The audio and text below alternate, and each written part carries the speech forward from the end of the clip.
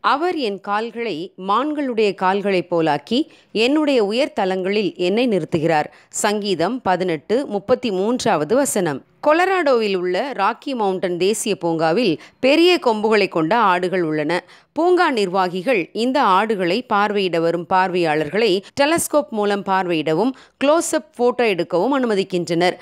அந்த ஆடுகள் நிற்கும் இடத்தை விட உயரமான ஒரு இடத்திற்கு பார்வையாளர்கள் ஏறிச் சென்றால் அந்த ஆட்டு மந்தை முழுவதும் அதைவிட மிக அதிக உயரமான இடத்துக்கு தப்பி ஓடிச் சென்றுவிடும்.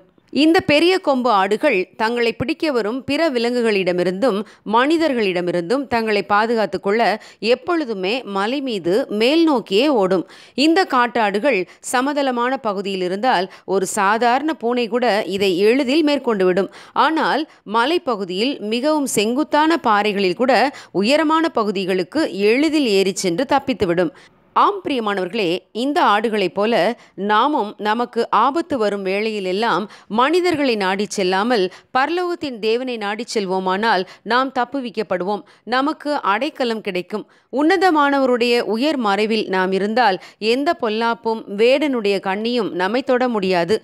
தேவன் நம்முடைய கால்களை பலப்படுத்தி நம்மை நம் உயர் தளங்களில் நிறுத்துகிறார்.